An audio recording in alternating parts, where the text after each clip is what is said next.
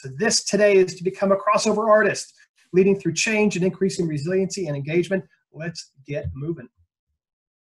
All right. Most of you know uh, that we enjoy interacting with you all, and we use Mentimeter to do it. If you're new to this series, um, please feel free to pull out your smartphone and or open a second browser, which is whichever is easiest for you, and go to menti.com, M-E-N-T-I.com, and enter the code that you see, 253290 uh, will also always be at the top of the screen so that you can reference that code whenever you need to. Um, most of you, as you were logging in, figured this piece out, and we asked you to consider uh, if you're stranded on an island or perhaps in your basement, uh, what one group or artist would you bring to listen to? If the word is larger, it just means that more people put that in as their vote. And so this tells us that we have a good number of Ed Sheeran and Taylor Swift fans. We've got some shout outs for U2, a little journey. I do appreciate the person who put in Rachmaninoff. Um, kudos right. to you. And also the person who managed to trip the profanity filter. So I'm not sure what band that is, but uh, the profanity filter is on. I hope they realize too that they that you don't get to take Ed Sheeran with you. You just get like to take his music, one of the CDs that you bought. I'm not sure that was entirely clear, so that's a good point to make now. Some of you perhaps want a vacation with Rachmaninoff. I like it. All right, second question for you, a little bit more on topic uh, for what we're discussing today. Uh, life after COVID, will it go back to normal, kind of just like it was? Uh, have a slight impact, perhaps we're doing more online shopping. Have a medium impact. Um, yes, I'm going to change my routine. I've really enjoyed the evening walks. I'm going to keep those. Or have a drastic impact. I am in, all in on virtual meetings. I want to do them for life. Uh, this is going to dramatically impact how we do business. And so as we see kind of your votes coming in, and this is just to check in on from an opinion piece, um, how do we feel about this? We're all in some degree of change. We're all being challenged from a resilience perspective to some extent. Um, and for the majority of you, we're saying it's going to have a medium impact. There is going to be a change somehow, some way to my routine that's going to carry through even after stay at home is lifted and business, perhaps the economy gets turned back on. Um, so that's interesting um, how that comes out. Our second question for you all um, to wrestle with is um, what is the biggest drain on resilience at work? And this is actually, we're going to reveal to you what a survey said. So we did not make up these categories. But if you had to pick between juggling working life and family non work responsibilities, volume or pace of work stretched to its limits, managing difficult relationships or politics in the workplace, um, or upheavals in in your kind of personal life. And I apologize, I think there's a typo that we have uh, upheavals and personal upheavals. So that's upheavals on top of upheavals.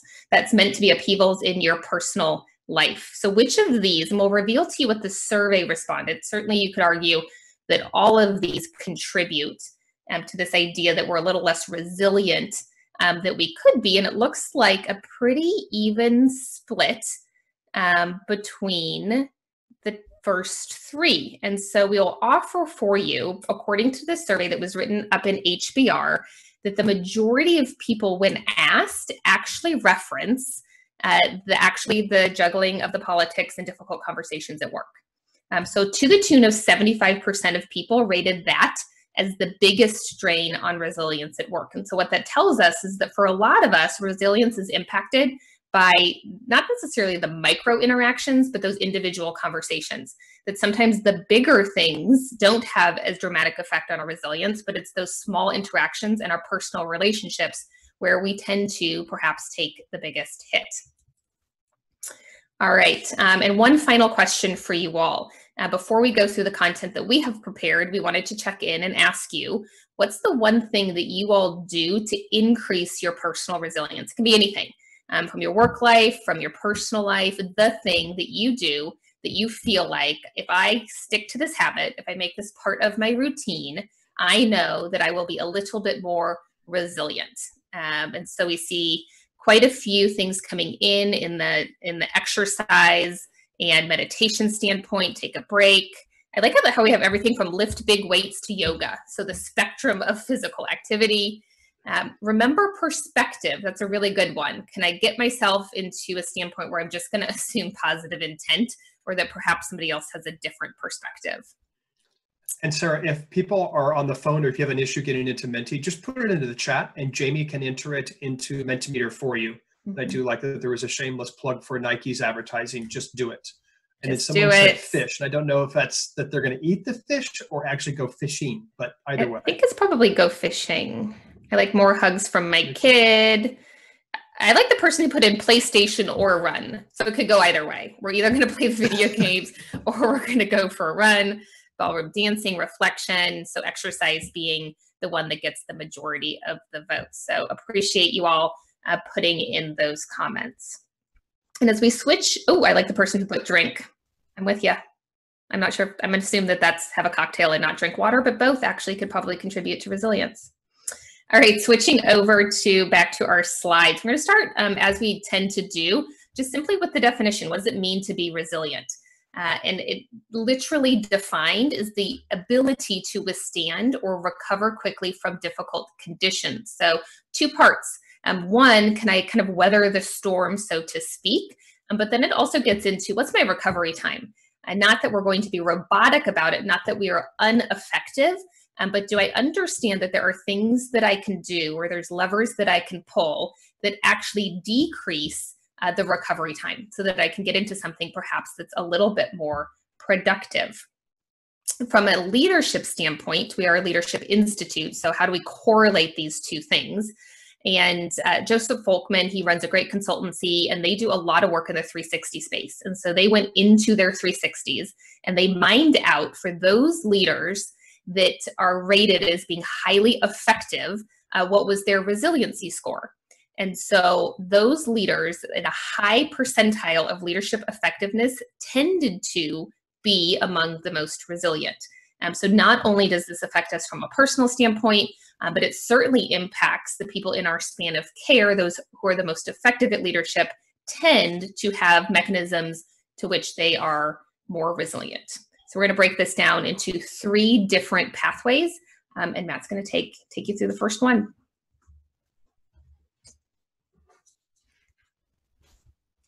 Oops, I apologize. Matt, you're on mute. Uh, yeah, my apologies. Uh, just really quick, the human brain, just to look at the biology of this, it burns energy about 10 times faster when it's under stress, shifts energy away from the prefrontal cor- cortex. So the part that is basically irrational, juggling complex tasks and the planning of this. And when we say, okay, well, why are you bringing up the human brain under stress? Well, if we look at right now, the times we're in, we could describe this as there's a lot of uncertainty, there's some anxiety, perhaps some would label this as fear. Um, some of the questions that we're asking, when will the stay at home be lifted for your particular country, your particular state? If you're in the US, perhaps even your particular city or county. When will my business return? When uh, will my business return? Um, for the U.S., this is a U.S. piece, but the the payment loan, the uh, the paycheck loan, will I get that? Is there a recession that follows, and how long will that be? Um, might, might have health concerns or business pressure. Perhaps I'm leading a really remotely, and that's a lot of change. Maybe you're an essential business, so you really wrestle with a lot of these issues of how am I putting my people, am I putting them in harm's way or not? So a lot of these questions leads to that is just a lot of stress on the mind. So when we think about increasing resiliency, we break this down into these three areas, as Sarah mentioned, individually, both during change and then as a team. And so we're going to look at individually, like during the storm, during the turbulent times, what can we do? So individually, and I love that we asked you all, what do you do to increase your resiliency? And I know some of you put drink, hey, look, everyone, I found the vodka, it was hiding in the orange juice kind of thing. I'm not sure we recommend that one just to say this. There's a lot of studies out there, and this I think is very true. You even put it in when we asked you, how do you stay a little more resilient? Well, a lot of you talked about either meditation. I know I saw some of you put in pray. Of you put in either run or PlayStation. Perhaps there was woodworking, fishing, eating better, yoga. All of these things are, are proven to be very true from a resiliency standpoint. And straight out of military training, absolutely my physical well being, my mental well being, all of these things are part of it. However, we're not going to go down this angle. I think this is the information that's known, it's accepted, people know to do this, and they do do this. And it does help with some resiliency. So we're going to give you a little bit different lens on this, hopefully that adds to this and is, uh, yeah, is additive rather than us just repeating the usual stuff. I'm going to be really gentle on this one, and I'm going to try and find this out. And if I miss this, Sarah, if you can join in and help me here. But resilience does not equal optimism. Um, what I need is a grounded sense of reality and your thinking on the issue versus kind of the mindless, rah rah, cheering person. Uh, there'll be a time for that, perhaps later. But during the thick of things, during the stress, during the times that we're trying to solve a problem or work our way out, the person that just simply says, I'm the eternal optimist and it's all going to be okay and we're going to make it out of here, um, that's actually doesn't drive resilience. There's a lot of studies out there that show um, it actually fights against that. What I need is your best thinking on this versus just um, it's going to be fine. It's the Titanic. How could it go down? It's its maiden voyage. It was built really large. Those type of things. So just to level set, it's not a bad character trait or anything, but it's also not what resilience is. So what is it then? Well, let's get into that. One, from an individual standpoint, resilient people have a very sober and simply down to earth view of those parts of reality that matter for survival.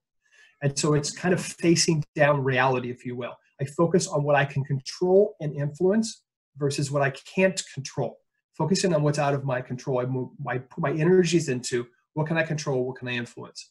And at the end, as mentioned, if you joined us a little late, we're going to provide all of these slides and some resources and tools to help you with this. But one of the questions you would ask are, what possibilities does this current circumstance present? As I think my way through, I'm facing down some real reality.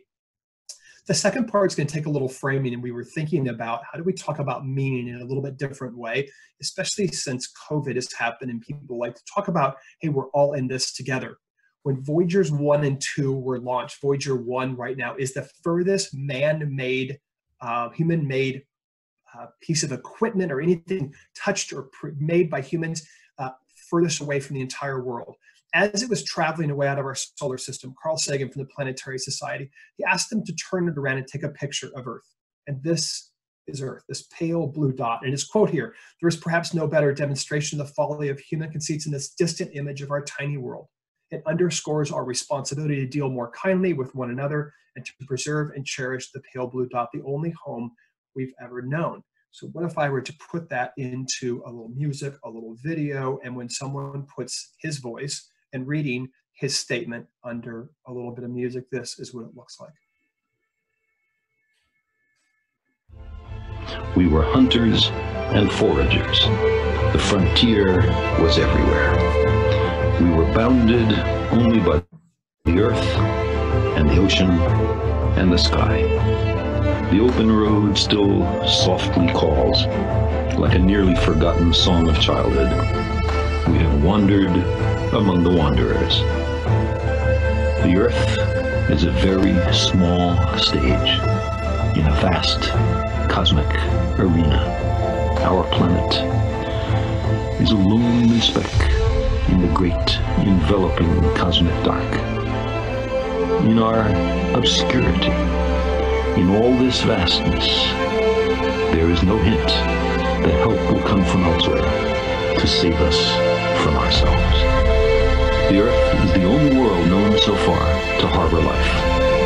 There is nowhere else, at least in the near future, to which our species could migrate. Visit? Yes. Settle? Not yet. Like it or not, for the moment, the earth is where we make our stand. To me, it underscores our responsibility to deal more kindly with one another and to preserve and cherish the only home we've ever known.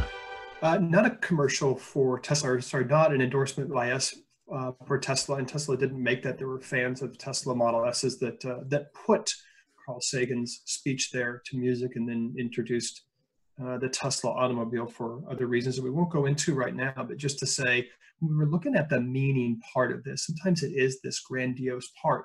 Uh, Voyager 1, as I mentioned, launched back in I think 1977. It has two gold discs on it, and it says to the makers of music, all worlds, all times. They thought, uh, NASA thought that perhaps if it ever falls into the hands of uh, artificial life, if something exists out there, that they would understand humanity. And so on this disc, they actually put some music. Johnny B. Goode by Chuck Berry, Symphony Number no. 5 in C minor by Beethoven, Greetings in 55 languages. For whatever reason, we decided to include whale songs. And in Morse code is per aspera ad astra, which means through hardships to the stars. And fun little fact here, the Voyager team wanted to include Here Comes the Sun by the Beatles, but EMI, their producer of the record, uh, declined for copyright reasons. So the transition for this and the second part of individual, I know we've gone down this space track here, but the second part of individual resiliency is to make sense to have this search for meaning. It's the propensity, the ability to make meaning of difficult times uh, in the person. So again, not the optimism part, but to make meaning of it. Um, as an example, COVID, for people to make meaning of this, we're all in this together. And we start looking at what's the reality of this. So what we would offer is an organizational part, an individual, center your conversations, your decision making, uh, your communication, especially around your purpose and values. And I would ask yourself, what's the current time teaching us? Not about how to survive this, what's it teaching us about surviving the next perhaps disturbance that might be there? So this is a good example of how we make sense of the meaning. And if we're talking about meaning and we're talking about purpose, there is probably no one uh, better qualified to quote than Viktor Frankl and we are no longer able to change the situation, we are challenged to change ourselves. The way we do that is we search for that meaning and we have this grounded sense of reality in this. And we're going to move into the next area, and that is ritualized ingenuity, Sarah. All right. So, building on our third element from individual resilience, ritualized ingenuity, um, which is defined as the ability to make do with whatever is at hand. And so, remarkably during this time. And I think if you have examples, I would welcome you to put those into chat. Certainly, businesses and organizations have been fairly ingenious with how they are delivering their product or their service to market. Restaurants or steakhouses are turning into butcher shops, as an example. We can't necessarily cook the food for you, but we can actually provide the food and you can cook it in your home. How do I get my product or service into your hands in new ways? And so you see kind of the upcycle movement um, in the photos people who are taking and rather than i can't particularly recycle this object but i can actually upcycle it and give it to give it a new life um, so how does this apply to the situation that we're in um, how do I t- gather with my team and say we do have some resources. Um, how do we repurpose repackage reuse the things that we already have? Um, what core components of your business can we actually remix to deliver a new service? And what are you really really good at? Um, what's the thing that you do better than anyone else? And how do i get that product into people's hands when i can't do it in the traditional way um, and so when you think about all of these things as they come combined from an individual resiliency standpoint um, do i have that grounded sense of optimism? Do i understand to what end? What's the meaning i'm going to make of the situation of the role that we can play inside the situation? And can i do whatever i can with what i happen to have available to me. I'm just glancing over um, in the chat, we've got one modified global tech supply chain to assist with PPE uh, supply chain management. A great example. Um, so if I have anything that can help in the fight to get PPE to the people who need it, is my business providing that? So great example.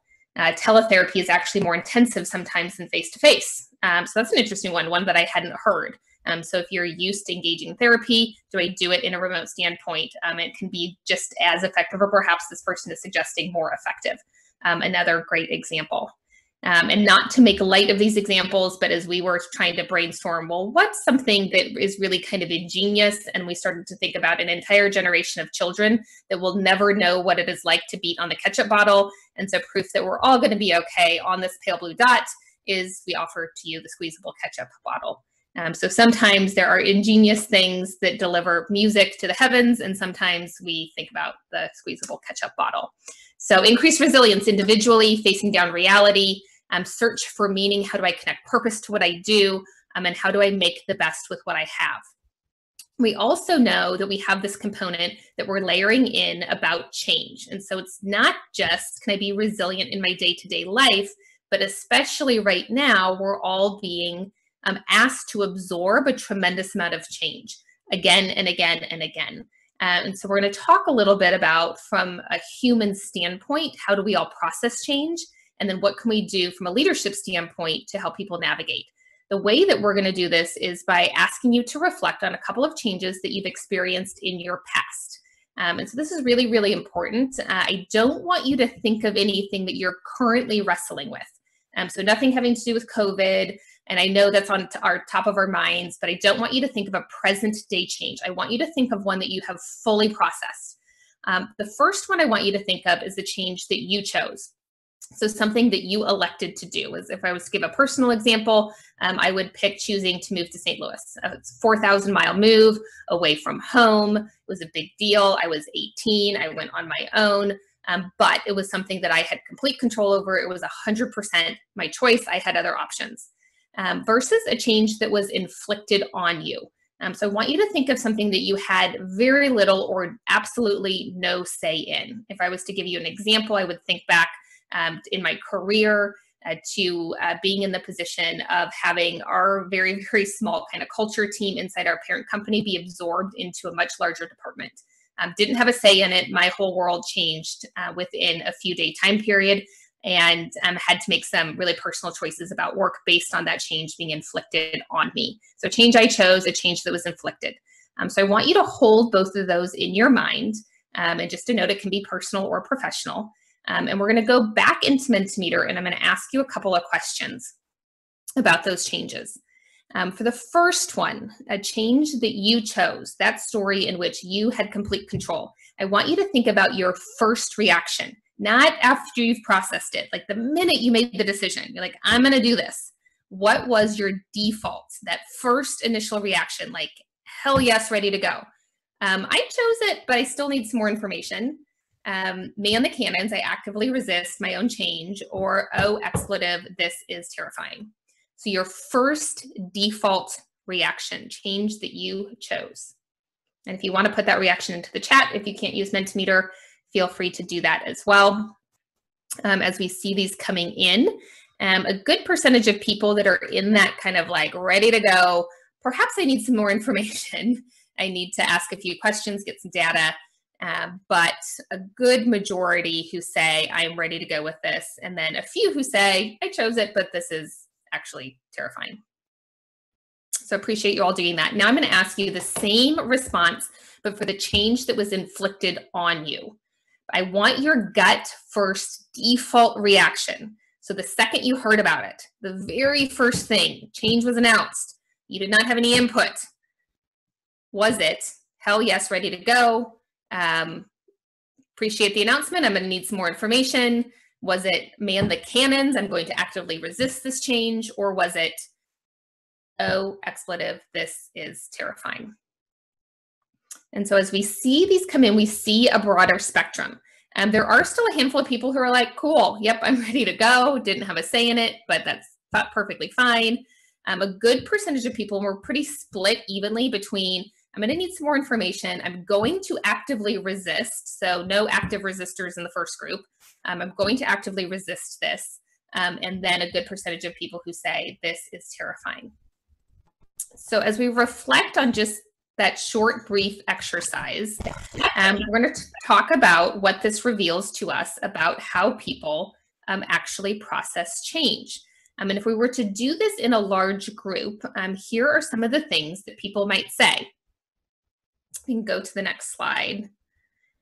In general, people have a more favorable reaction to change that they chose. And so it's not always, um, but typically, we've run this activity with probably thousands of people at this point, um, and typically it works out exactly the same way it did in the polling. If I got to choose it, I'm much more likely to say I'm all on board.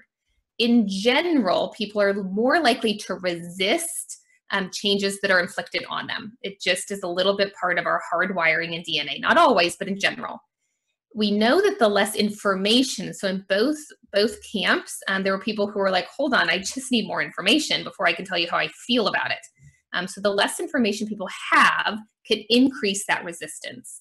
I mean, certainly change can be very contextual to the individual. I would use a divorce as kind of a classic example for some people that is inflicted on them and they have a very negative reaction um, and for some people they might say i'm i'm perfectly fine that is a hell yes kind of moment for me um, so the same type of change um, but very different reactions and so if we're to look at it this from more of just kind of a processing lens Um, this is how people, how humans process change. If you are human, this applies to you. None of us get out of this. This is simply how we are hardwired. And when we become aware of a change, feedback is delivered, the change is announced, um, typically we're going to experience some kind of emotion. Um, again, this is just called being human. That emotion might be that a little bit of anxiety, um, perhaps a little bit of fear, uh, that resistance might kick in a little bit. I have some kind of reaction. Um, internally, what happens is I have to go through a process whereby I start to rationalize the feedback or the change for me. Um, and essentially, what this means is um, I need to make sense of it for myself. I then need to be able to attach to it. Um, and I'm starting, and the thoughts that might occur to somebody are okay, I could see how this could work out. I could see how I could manage this. Then I start to anticipate, all right, this is coming. I'm going to anticipate the change. Then I'm ready for action. And so we call this the term that we have for this is um, in the box. Um, I go from I'm aware of the change, I go through all of this processing, and then I'm ready to leave the box. The one surefire way to sabotage the change process is to skip the in the box, to expect that I told you about the change and I expect that you're going to go straight to action. Um, and we do this all the time. And oftentimes, when we do this, is when leadership teams meet, they thoughtfully consider a change, they write out a beautiful communication strategy, they lay out the change, and instantly expect that people can transition on a dime. Well, the reason that happens is for the leadership team or whomever the group is that's responsible for the change, they've had time to process. They have gone through the box, they've fully processed it. Uh, but then you have a new population population of people receiving the change that haven't had that luxury. So what do we do about it in a change change process? Because I want to increase people's resiliency and I want for people to be able to absorb and be resilient to the change. So the first piece is where possible, I need to gather input on the front end. Wherever and whenever possible, I need to gather that input. I need to design the communication strategy to be two-way. I need to be able to, yes, perhaps transmit, um, but I also want to build in opportunities to listen. Um, it's really, really powerful simply to acknowledge that people are in the box. It goes a long way to say, I know that this is fast. I know that you're in the box, or I know that you're still processing. However, time is critical, or whatever it happens to be, but I can at least acknowledge that I'm putting you in this position. Um, if possible, I can provide options within the change. Um, perhaps um, I can't, the change is happening. Uh, there's nothing I can do about that part, but the way you absorb the change, the options that I give you, um, I can perhaps ask for, for some choice. Um, I can default to asking open-ended questions, and we're going to give um, you a tool for that. Um, I can separate the announcement of the change and the asking of feedback. And so, for example, um, out of respect, we're going to let you know, team, that this change is happening. Um, I'm going to ask for your feedback tomorrow. Um, but respectfully, I don't want to put you in the position of processing it all at once. And so we're going to separate this into two parts. Where possible, I'm going to give opportunities for ownership. Um, can certain people take parts of the change and be able to do it?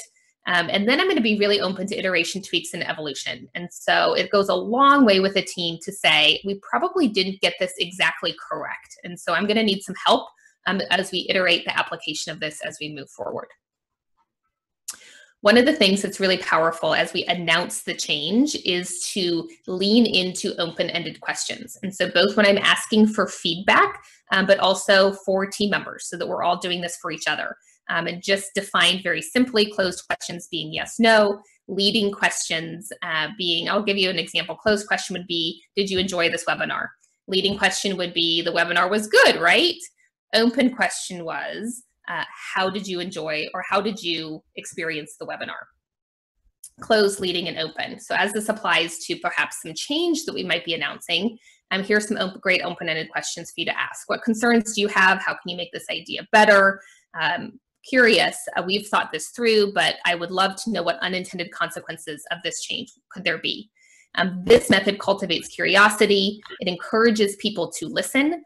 Um, it helps advance the idea and it's shared ownership. So the, the idea or the change no longer belongs just to me versus closed questions. Do you agree with this change? Can you administer this change? Will you execute this change? If I go into that yes, no mode, it starts to feel like a cross examination. Um, and it starts to feel like I'm just trying to advance my own agenda um, and the ownership stays with the questioner and it suddenly is not a group conversation. Matt, anything to add on that? Uh, the only thing to add on this is the reason we brought this up in some resilience through change is when the studies are showing about change management or change efforts in organizations, uh, about 70% fail, but that's due to employee resistance. And so it might seem like this is a little bit like, oh, okay, great, we can listen, we can ask open-ended questions. This allows people to lean in more to whatever that change is and be engaged and not have your change efforts fail. And I think just presenting you back to you, audience, is very few of you said life post COVID is going to be exactly the same. And so you are going through this, your people are going through this. This is the way. And I know there are a lot of change management theories and, and steps, but this is the basics of it. And a lot of it is listening, asking for that feedback, and these open ended questions. As we transition into uh, the team, so increasing resiliency. And I'm just to say this, right? Being a resilient in as an individual, being viewed as a resilient leader requires that you bring others along with you, whether this is nonprofit, for-profit, military, et cetera. This is really what being a resilient leader is about. Uh, the most helpful thing a person can do is to listen under the seek to understand. And we're going to get into an empathy piece, and I'll just tell you, I'm looking at my watch here, I'll just tell you a very, very short story of this where it has a business impact. Now, one of my assignments in the military was to build a, the Air Operations Center in the Middle East. And so I was in Saudi Arabia, and the, the arrangement was that 95% of this construction project was to be purchased on the Saudi economy.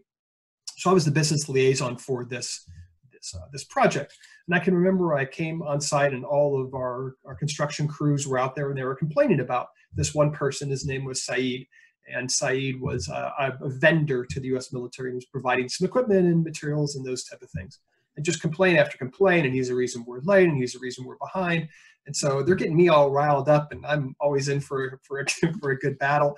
And so I called up Saeed. I said, "Hey, this is who I am. I want your stuff off my site. I did not call it stuff, and get down here and get it all over. And if you're not, if he doesn't, if it's not off my property, off the job site by the close of business today, uh, that it becomes property of U.S. government. Now, is that true? No, of course not. But I like to play a, a poker hand, even if I don't have one. So he comes in, and he's we're talking about these type of things, and there was a piece of equipment that the crew was asking for. It was a large piece of uh, equipment, earth moving equipment.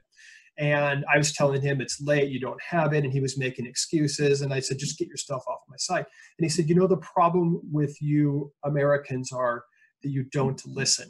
And so then I started to argue with him, and I thought it's like that flash that you have in your life, and you think, huh, I'm arguing with somebody about not listening. Maybe there's a point here. So I said, All right, you got 30 seconds. And he just said, You can't get that piece of equipment in Saudi Arabia. It doesn't exist. I can ship it in. Here's the extra cost. I'm giving you this as an alternative. And so I just kept listening and kept listening. And it turned out that Saeed was right about a lot of things that I think myself, uh, I had not really understood the true landscape of it of the environment there and the differences, having a Western mindset about this construction project. Saeed became kind of my business advisor. I used him to check up on other vendors. Um, it's not my leadership, but I would say it's more on Saeed and the act of listening is the reason that uh, that, that group was able to complete the project on time below uh, budget and actually got to go home for the holidays. Uh, and if I just told him off and told him to get off the site, which would have felt really good, uh, it would not have happened. And so, and we still keep in touch today. But I remember that moment about being able to listen. Um, listening, it feels like it's a very passive thing. And for those of you that do it and do it well, you will notice that you are exhausted by the end of the day if you're in this. It also helps someone else out. So when we talk about our own resiliency, there's a way that I can increase someone else's resiliency. And it's really interesting. All of us walk around day to day with a balance of logic and emotion. Perhaps we're more logical, perhaps we're a little more emotional uh, in our, but we have a balance that's true to us. So this is called our homeostasis. This is where I live between some amount of logic, some amount of emotion. As I go through the day or as change happens, a lot of times, especially as you noticed, if it's inflicted on me, my emotions start to increase. As my emotions start to increase, my logic starts to get pushed out. Some of you might say, oh, on the extreme parts of this, it's an amygdala hijack, like it's fight or flight. Yeah, the extreme side, but even in the mellow parts of this, I start to have a little more emotion. It makes it more challenging for me to think because my logical part of my brain is kind of being forced out. What helps someone return is the ability to vent out some of that emotion. But the key to venting is you have to have someone there to listen.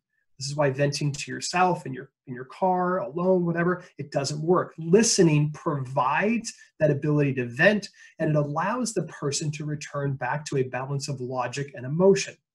This is why there are times in a heated discussion, and you notice what was the number one thing that people said fights against the resiliency at work, and that was difficult relationships or running the politics. It's why later on, if you're in a discussion like that, you think, oh, I wish I should have said this. I could have said this part of it. Because after time, my logic is back and I can think more clearly. But if we ever think that listening isn't an active thing that helps someone, this is what you're literally doing for people and how you help their resilience. Listening also bonds this ability to have more empathy, the ability to understand and share the feelings of another. And I know while that sounds soft, for those of you that were on our effective teams webinar, the number one thing in an effective team is psychological safety. This is that empathy that I understand I can share the feelings of another. Uh, I mentioned Viktor Frankl from a purpose aspect. There's probably no better expert as well to talk about empathy than Brene Brown. So I'm going to show you a very short video on the difference between empathy and sympathy. So what is empathy and why is it very different than sympathy? Empathy fuels connection. Sympathy drives disconnection.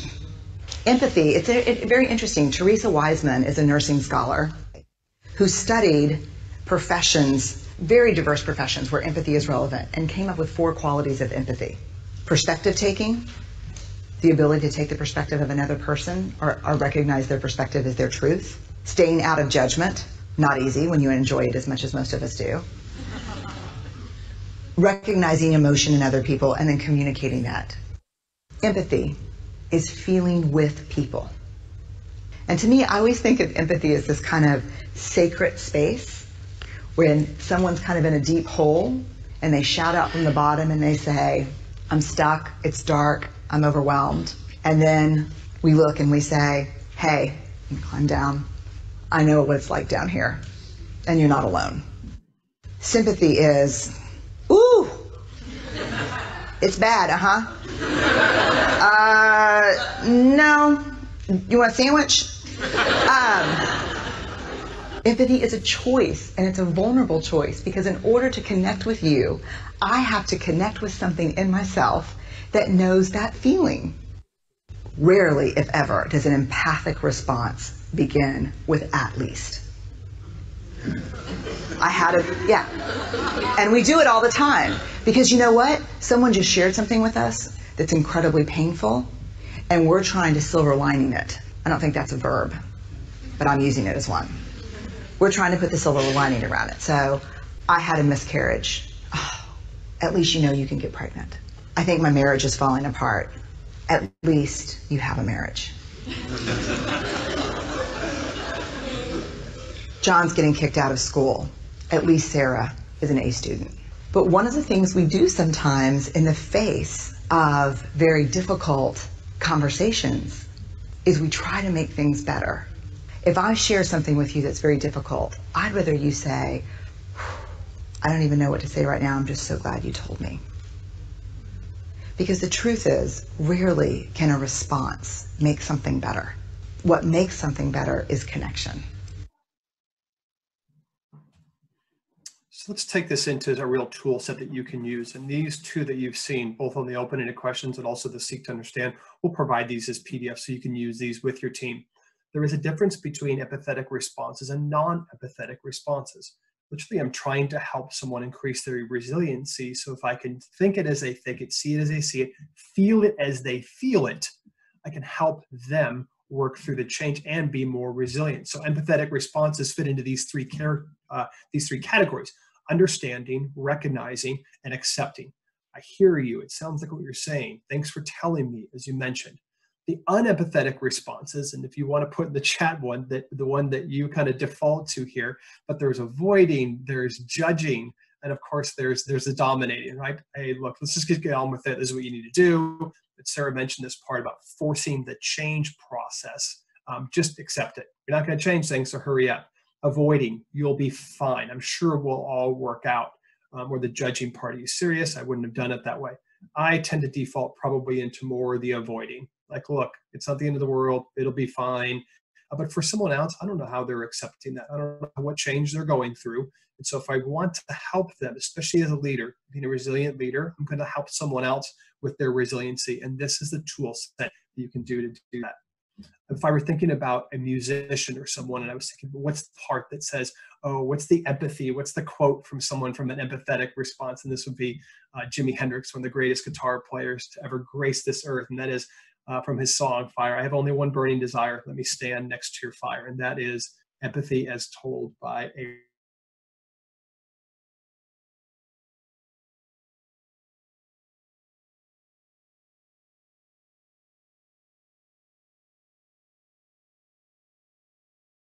which links to the listening. Um, and one of the questions is how do you manage through open-ended questions with a group, or do you have to do them all one-on-one and then as a group? Um, we would offer this as one of your strongest tool sets, both in a group um, and in a one-on-one scenario. And then another uh, comment in the chat was essentially, um, we don't do this because we kind of fear, what if I don't know the answer? Or maybe it'll take us in a direction um, that we're not prepared to go down. Um, and so we would offer that the to kind of release the assumption that from a leadership standpoint, I'm required to have all the answers. That one of the best things that you can do um, is actually say, that's a great question. I don't know the answer to that. Um, I'm hoping you can help me figure that out. Um, that it is appropriate to also continue just to ask open-ended questions. If I don't know the answer, um, can you help me understand your thinking behind that question? Great open-ended question. Um, so we're just kind of back into it. The listening comes in to say, all perhaps the response I need to offer is tell me more about that. One of the hardest things to do in the webinar format that we've discovered is actually answering the Q&A because we can't ask you all, tell me more about that question. So we're always unsure, am I even answering the right question? Um, so when you link those two tool sets together, they can be incredibly, incredibly powerful. The second piece we want to provide you um, is actually this idea of building work structures. And this links directly to team resiliency. Um, if I'm just in the never ending marathon, I don't know when this is going to end. I don't know when stay at home is going to be lifted. I don't know how long these business pressures are going to last. Um, it can be extremely exhausting. And so, how do I break up critical work into key milestones? Um, how do I specifically have conversations around what's in scope and out of scopes? How often am I having conversations with team members to be able to say, uh, what's do you understand the priority of how you're shifting your work from a day basis to a week basis? Um, am i celebrating sub project completion? Am i not waiting until the very very end of something in order to be able to celebrate? Um, and how am i leading projects consistently? They all have a similar scope. I'm stating the purpose of the project kind of those basic essentials. Literally how am i building the structure so that people can feel like we're being successful, we're getting work done, we're crossing off sub projects or milestones, we're actually advancing. Um, so this is just a great photo of the Walt Disney Concert Hall in Los Angeles, and they actually projected um, actually onto the surface of the building the structure that sits underneath it. Um, so just this idea of what's holding up the work, and are we being really consistent in the structure that we're providing for people? Uh, we also love this quote um, that resilience is about how you recharge, not necessarily how you endure. Some of the things that get really confused is can I just have the grit? Can I just withstand? Can I just make it through? Versus, um, and am I creating opportunities um, for pause? And how am I putting a system around the pause that we're taking? So, a few ideas for you, for your team, of how do I embed a recharge? Simple one is do I schedule meetings for 25 or 55 minutes? Essentially, am I giving five minutes of a break so that people can transition between critical work appointments? Um, how am I concluding the week with a short 30 minute team connection? Um, for our team, I will offer that takes the place of a happy hour. And so for the person who put in drink, we're with you. Um, if that's not an option, or perhaps you're working in an essential business, you're in a manufacturing environment, you're in a construction environment, I can still pull people together um, and have kind of a conclusion to the week. Can I start team huddles with recognition celebration, end them with personal connection? Um, encourage people to not leave the personal life out. Um, are we updating people on what's going on with our families? And are we highlighting continually successes and learnings? We send out an email at the end of every week, um, and it's literally called In This Week. And it's a list of every single positive thing that happened, every small thing, every big thing that we accomplished, so that people feel like meaningful work is being accomplished. And then finally, we know that one of the most powerful tool sets that you have is your willingness and ability to increase recognition. I'm going to shine a light into every corner of the organization and find those people who are toiling away in relative obscurity. That's a Marcus Buckingham quote. Essentially, people want to know that fundamentally who they are and what they do matters. Recognition, we believe, is your most abundant resource when it is genuine, proportionate, and timely to the activity that took place. We also break it down into these three categories effort, excellence, and example. In organizations, we tend to recognize a lot of the excellence, the achievement, the winning of the race, the completion of the project, the thing I can see. It's about one third of the things that you can be pointing out. We also want to be able to point out the effort, so the energy invested along the way, regardless of outcome. Um, so even if it didn't go the way we thought, but tremendous amount of effort was put in, are we recognizing that? And then certainly the example, the embodying of your values. We also encourage people to deliver the recognition in this way, in a very particular formula. I want to highlight the feelings, I want to highlight the behavior, and I want to highlight the impact. Um, so, generic example Jennifer, I'm grateful and inspired by your willingness to ask questions and share your thoughts on how to improve our client communications. Your curiosity and informed contributions make us more collaborative, and that serves our clients in even better ways. The reason this is important is it links straight back to this idea of empathy. People want to know do you see me? And I want to know how you feel about it. That's the empathy connection. Uh, I know this is a positive thing, but it's the literal climbing down into the hole, essentially saying, I am with you. The impact is really, really important because you want start you want people to start to realize this is the effect that you're having. And sometimes that's not always readily apparent. I want you to do that behavior more. And so the best way I can do that is by telling you this is what you have caused to happen for other people. I know that during during our current situation, um, it's a little tricky to figure out how to do this. Um, certainly, we can all send a handwritten note in the mail. Um, I realize that the stamp might be what's holding you back. Personally, I only have Christmas stamps, so if you get one from me, it is going to have a Christmas stamp on it. It's just what we're playing with right now. Um, but you can also write the note, take a picture, and text it to the person. Um, by doing that, it basically signals I took the time to hand write this time is the currency of leadership. It meant this much to me that I wrote this out. So, an easy way, if you don't even have Christmas stamps, um, to be able to do that.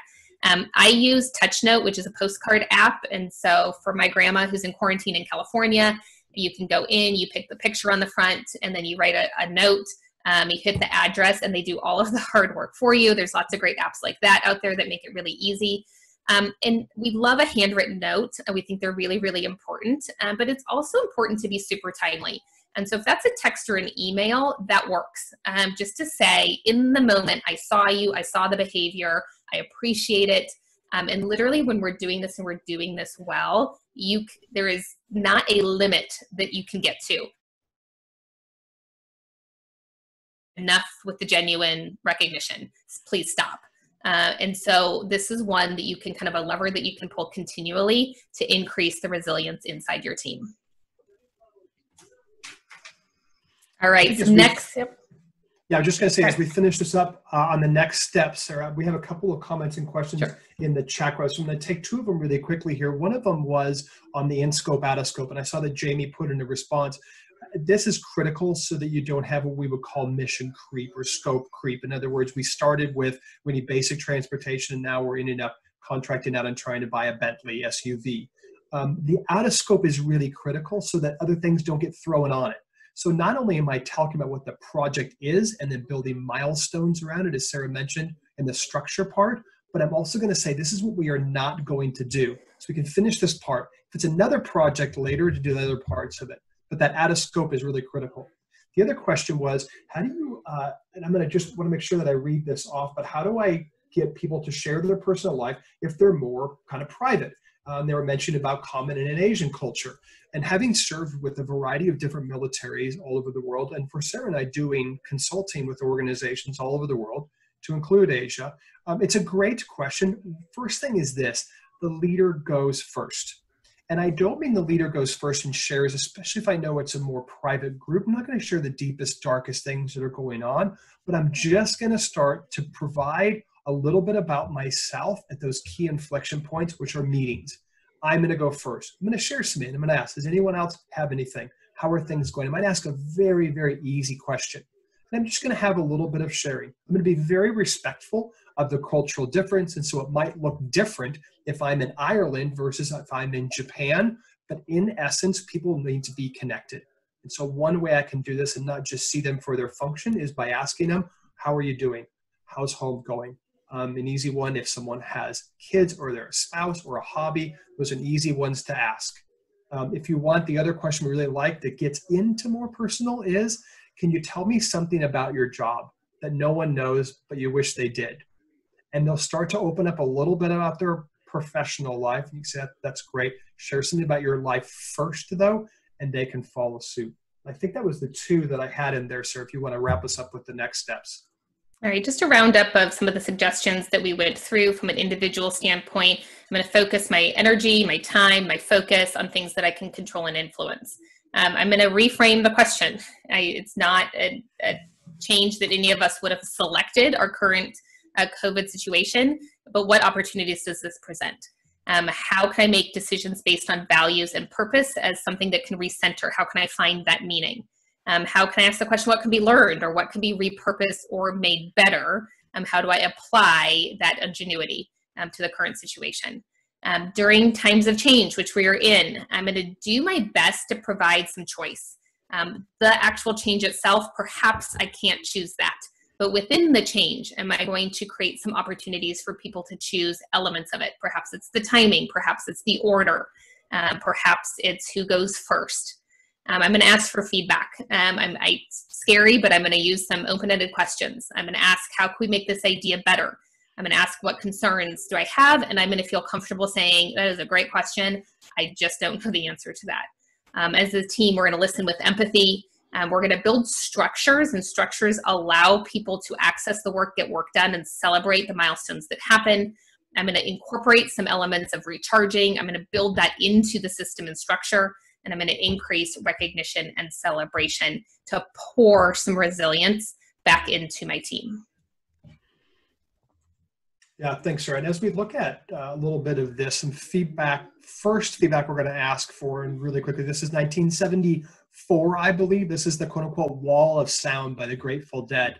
So when we think about feedback, this is you all first giving it to each other. So I'm back into Menti, and could you just do me a favor? It's the usual question that we ask, and that is, what have you learned or will do differently as a result of this webinar? The reason we ask this and for you to put this in, and I know it's a little challenging if you're typing in your phone, but it allows you all, the 160 people that we have on this webinar right now, to see what ideas other people are doing from this. So I know it's a little bit of effort, but very much appreciate this because a lot of the learnings of this happen from what you all say to each other and we'll read a few of these off. I'll read a couple in the server as well, but I love they ask more open into questions. I'm telling you, that can change your relationships, not only at work, uh, but at home. And I don't just mean like this soft skill way, I mean from a performance aspect as well. And asking open ended questions, you get so much better information and you allow other people the same. And a lot of comments on empathy as well. Right. We see coming in. Tell me more about that. It is such a great default phrase, especially if you feel like, man, I am backed in a corner. I'm not 100% sure what to do from a leadership. Like, tell me more about where you're coming from. Um, get, get the person talking more. I mean, you start to understand the question behind the question. Uh, the recharge. Um, how am I creating those essentially plug-in stations for people um, to get a little bit of their energy back? Um, how am I recognizing the effort? Um, that one is really, really powerful. And you think about from a resilience standpoint, if I've just been through something and the outcome wasn't I, what I expected, um, the way you shorten that recovery time is by saying, hold on, what can we learn from this? What good came out of it? Um, and what, how can we apply that good? Um, some, some great examples. Appreciate y'all putting those in. Yeah, and we will download the Mentimeter. So if you're still in it, please keep putting those inputs in. We'll download that. We get it into a PDF and we'll send that out to you as well by close of business today. Now it's time for feedback for us, if you don't mind. I know we're up against time right at the hour, and I've launched that poll question, sir. If you can confirm that it actually yep. is up and running, great. And so if you don't mind, please, please, please give us some feedback on how you like today's session. Um, I'm looking forward, and sir, can you check on the Q&A for me really quick as I move us into just a few last slides here. This is number six of seven in the series, so we have one other additional uh, uh, webinar we are doing. We might put a bonus track on. Expect that announcement to come this week. Uh, on Thursday, we're doing the accountability playlist. We've done a lot of work on both care and accountability. So how do I care for people, but at the same time, like, guys, we got a business to run. We need to get some stuff done.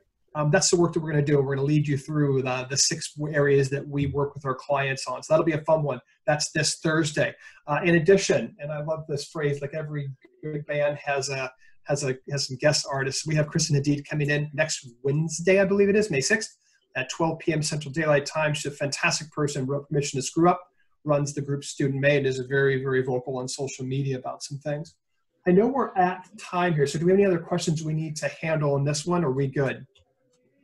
Just one note um, for Susan, who's out there, can we get recordings and PDFs of some webinars we've missed? All the recordings are on our website, so you can access those immediately. And if you would like uh, the PDF of the slides once you view that, just reach out and we'll make sure that we get that to you. Um, there is a question in the Q&A, and I'm just going to say right now that I don't feel qualified to answer it. Matt might have a response, um, but just to acknowledge that it was asked, how will the politics in Washington, D.C. affect all these COVID issues? And my answer to that is dramatically. I, my answer to that is they will put you in the box. yes, they will put you in the box. So apologize, yeah. just not qualified to answer that one, um, but appreciate yeah. all the comments, all the questions, um, and you all tuning in.